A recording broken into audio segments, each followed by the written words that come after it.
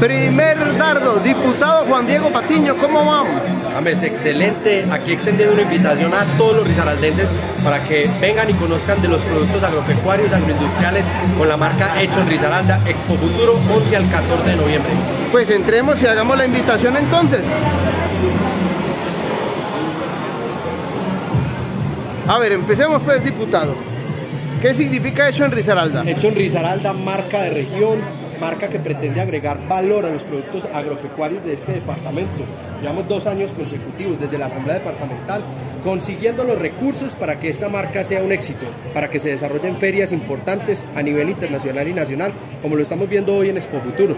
100 emprendedores bajo la marca Hecho en Risaralda, con distintos productos del departamento de Risaralda y lo que pretendemos también, James, es que podamos generar un valor para que los risaraldenses conozcan de la prioridad, la cantidad y la calidad de los productos que tenemos en este departamento. ¿Qué tipo de productos? ¿Cuál no sea un aproximado más o menos de qué tipo de productos vamos a tener Todos los productos James van a poder encontrar acá agroindustriales, vamos a tener cafés, vamos a tener hortalizas, vamos a tener productos derivados de la panela, de otros temas que tenemos en el campo risaraldense. Yo creo que tenemos una un, panorama extenso para la oferta que le vamos a brindar hoy a los pereiranos y a los risaraldenses que vengan al Risaralda Megafest. ¿Quiénes están beneficiando con este Risaralda Megafest y con este hecho en Risaralda? Miles de campesinos del departamento de Risaralda se ven beneficiados de esta feria, que es una feria yo llamo nacional. Aquí tenemos también una agenda académica con los secretarios de despacho de los distintos departamentos del país, hablando de la reforma agraria, qué va a pasar en este gobierno y qué pretendemos que tengamos en este,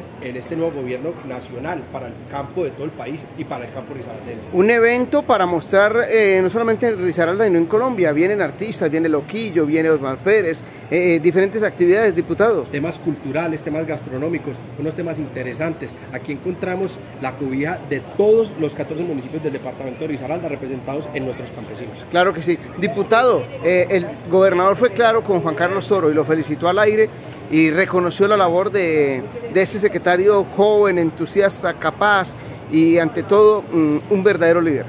James es un secretario comprometido, lo hemos eh, dicho en la Asamblea Departamental, en los controles políticos, lo que hemos evidenciado en el campo risaraldense es demostrar y es demostrarle al mundo lo que hemos venido haciendo eh, desde la Asamblea Departamental, también apropiándole recursos a esta Secretaría para que funcione de una manera interesante. Por último, diputado, ¿cómo va la campaña Gobernación de Risaralda? Excelente, James, trabajando muchísimo para cristalizar este proyecto, para poder ser los candidatos del Partido Liberal y conjugar otras corrientes políticas en el departamento de Risaralda con mira a esa gobernación. Lo que está solo, lo que está claro es que solo no va a estar. Así es, no vamos a estar solos.